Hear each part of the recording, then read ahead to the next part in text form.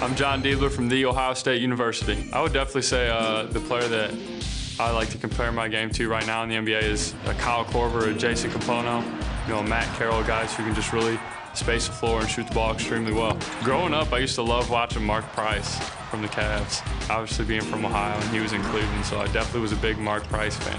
My dad was a high school coach and uh, been around the game my whole life. I have two older brothers who played basketball as well, so my mother also played basketball, so I guess it just runs in my family. I've always been around the gym. Um, my brothers, my two older brothers, did a lot. I really look up to them, and uh, definitely just the way that they work and their work ethic and everything in the gym and off the court as well just inspired me to want to become a great basketball player. I love playing ping pong.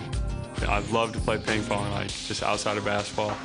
Not too bad at it either, so that's one of the things that I enjoy doing. I want to be a coach, actually. I would love to coach basketball. I just really, really want to stay involved with the game of basketball. I would like to be a college coach someday, so that's definitely something that I would like to pursue after basketball. Uh, it's just a blessing to to be here, to to be able to uh, to come here and just enjoy this opportunity, to be in the position that I'm in, and uh, obviously enjoy this opportunity with my family.